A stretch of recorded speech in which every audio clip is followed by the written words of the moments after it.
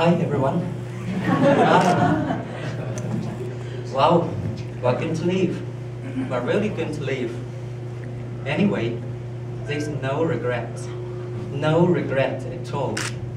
Because I believe every one of us has got what we expected before coming to NIU.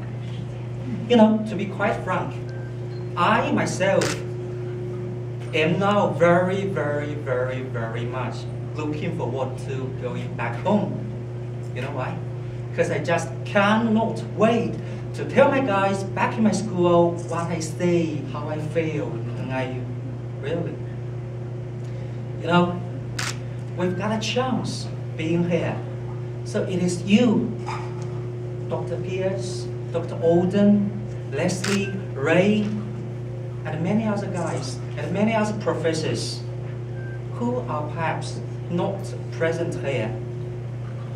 Mike, uh, school bus driver. Cassie, you know Cassie? Boys, you know Cassie? Oh, you should know. You really should know. We all should know.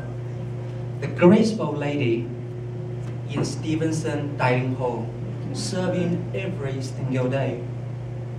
So it is you made this trip available to us, which is so terrific, which is so wonderful. So thank you. Thank you very much. We are leaving, but we will be back very, very soon.